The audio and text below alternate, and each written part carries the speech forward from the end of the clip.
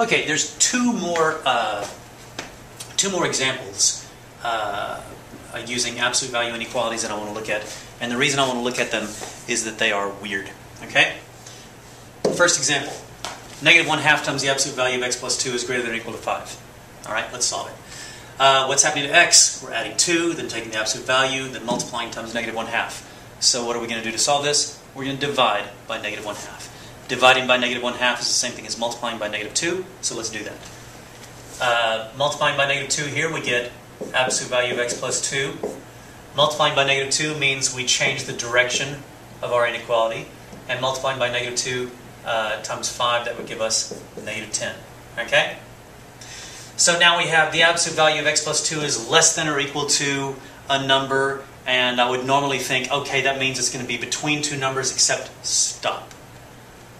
Absolute value, always positive. Less than or equal to negative 10? No, it's not. Okay? The lowest this can possibly be is 0.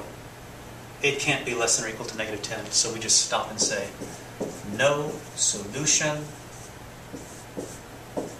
empty number line, and x cannot be found anywhere between negative infinity and infinity. Okay? So, now let's look at this one.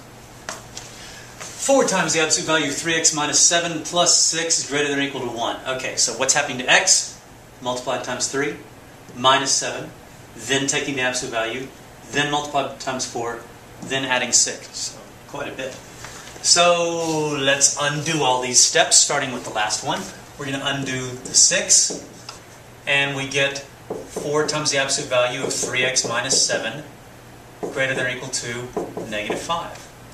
Then we're going to divide both sides by 4, and uh, we get the absolute value of 3x minus 7 is... Now, do I need to change the direction of that inequality?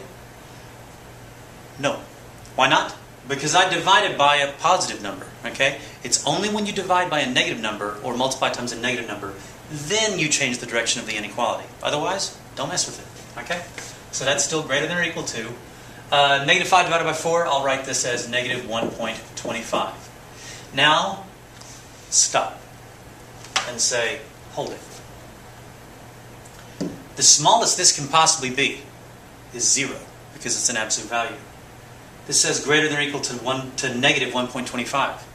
Uh, yeah. 0 or anything bigger is automatically greater than or equal to negative 1.25.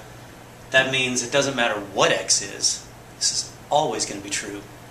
So that means x can be any real number. Okay? And on the number line, we shade in the whole dang thing. And we say x is somewhere between negative infinity and positive infinity. Or we just say x is somewhere in the set of real numbers. Okay? So, to summarize, if you find yourself saying x has to be less than a negative number, no, it can't be. If you find yourself saying, and I said x, something. Okay, the absolute value of something is less than or equal to a negative number. No, it can't be that. If you're saying the absolute value of something has to be greater than or equal to a negative number, or greater than a negative number, yeah, it has to be.